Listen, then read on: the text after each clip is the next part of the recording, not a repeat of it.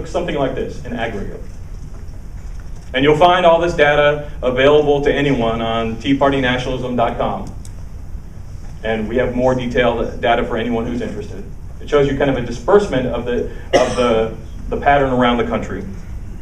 These six national factions and their members have roughly 3,000 affiliated local chapters. You can see their locations here.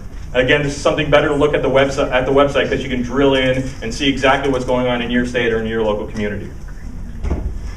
Now look at a graph. A look at the graph counting Tea Party numbers over time shows that the organizations are continuing to grow. The different national factions are all not growing at the same rate, however.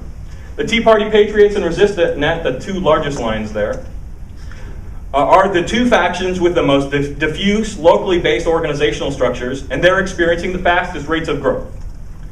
This would tend to indicate that the larger uh, that a larger movement is less susceptible to central control and more likely to attract racist and nativist elements at the local level.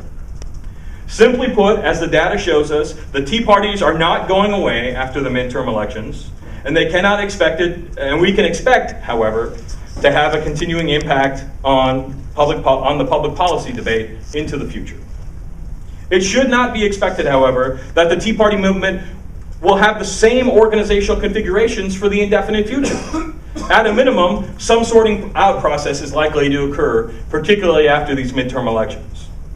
Now, it would be a mistake of the highest order to claim that all Tea Partiers are nativist vigilantes or racists of one stripe or another. And this paper manifestly does not make that claim.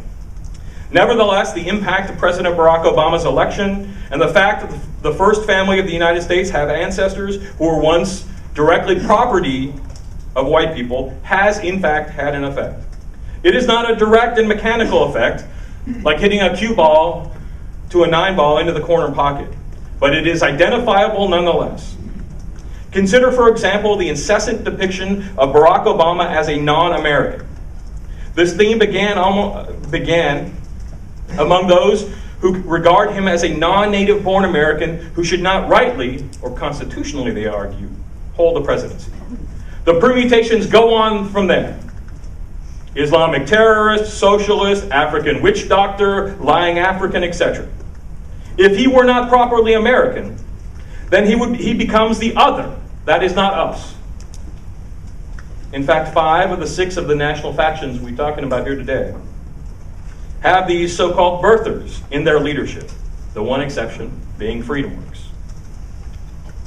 As already discussed today, the, both polling data and observable evidence point to the fact that the Tea Party attendees and their supporters are overwhelmingly white.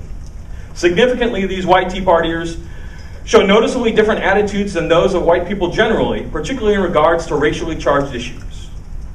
These numbers indicate racially and cultural differences that morph directly into opposing beliefs about immigration, national identity, and the question that haunts this Tea Party movement who is an American? The Revolutionary War era costumes, the yellow Don't Tread on Me Gadsden flags from the same era, the overstated veneration of the Constitution, and the defense of American exceptionalism in a world that has turned to transnational economies and global institutions are all signs of an overarching nationalism that helps define the Tea Party movement. It is a form of American nationalism, however, that does not include all Americans. And it separates itself from those it regards as insufficiently, quote unquote, real Americans.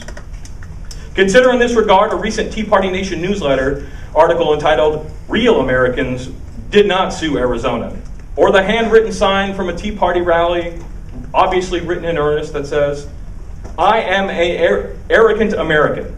Unlike our president, I am proud of my country, our freedom, our generosity, no apology from me. It is a notion that President Barack Obama is not a real natural born American, that he is some other kind of person that abounds in Tea Party ranks and draws the movement into this pit of no return. Indeed, these claims have become so widespread that they have corresponded to an uptick in the number of Americans who believe that President Obama is not a Christian, as he professes, but in fact a Muslim. Shortly before he took office in March 2009, 11% of Americans believed he was Muslim. In August of 2010, the Pew Research Center measured that number at 18%. While social scientists have not yet to, to pinpoint this jump in numbers uh, as caused by the Tea Party years propaganda, it was during this period of intense Tea Party uh, opposition to Obama and his supposedly Muslim roots. Which brings us to the issue of Islamophobia in the Tea Parties. Alongside racism, anti Semitism, the elements of Islamophobia have found their way into the Tea Party movement. Tea Party leaders and members have employed anti Muslim language, and, and they continue to push Islamophobia as a new cutting edge wedge issue. It is not my contention that all Tea Partiers are consciously racist. The evidence speaks for itself. In the report, you'll find a plethora of examples of racist vitriol on the part of Tea Party leaders, incidents where well known anti Semites and white supremacists have been given platforms by national Tea Party groups, and an analysis of the attempts by white nationalist organizations to find new recruits in Tea Party ranks. I won't spare you all the details, but I'll give you just a few examples. One of those is a gentleman by the name of Roland Garcia Quintana. He's a South Carolina GOP operative who's pushed, who's been actively involved in Tea Party activities throughout South Carolina. What he doesn't disclose on his bio is he's also a national board member of the Council of Conservative Citizens, the literal reincarnation of the old white citizens councils the group that Thurgood Marshall used to refer to as the Uptown Klan. And in fact, Council of Conservative Citizens activists now are active in the states of Florida, South Carolina, and Mississippi, running Tea Parties and participating in local Tea Party events. There are many of these examples which we could go through, but I encourage you to read the report to take a look at them. Now, these doubts and denials about President Obama's Americanness have been coupled with an often growing level of nativist activity and sentiment from both the grassroots and leadership of Tea Party factions. In 2007, at the height uh, of anti immigrant organizing, there was a 600% increase in anti immigrant activity, growing from 135 different local, state, uh, local and state level anti immigrant organizations to more than 400. By 2010, many of those organizations had dis- di- virtually disappeared. And we asked ourselves, where had they gone? The answer we found out is they moved themselves right into the Tea Parties, changed their names, but became quite active inside the Tea Parties. At a policy level, they've worked not only to impede progress on comprehensive immigration reform and breathe new life into H.R. 1868 the so-called Birthright Citizenship Act of 2009. This bill would end birthright citizenship in the United States for American-born children of parents without papers. It would present a direct constitutional challenge to the 14th Amendment, passed after the Civil War to guarantee the rights of newly freed slaves and their children. It is here, at the conjunction of nativism, opposition to birthright citizenship, and the denigration of President Obama, and the fear of a new majority in American life, that the unstated racism embedded within the Tea Party becomes vocal and unmistakable. Now, the data we present here uh, in Tea Party nationalism is just the beginning. To advance the understanding of the Tea Parties, that data we've collected about the Tea Parties, we're more than willing to share with scholars and journalists and others who have questions about the Tea Party and the trajectory in which they're taking.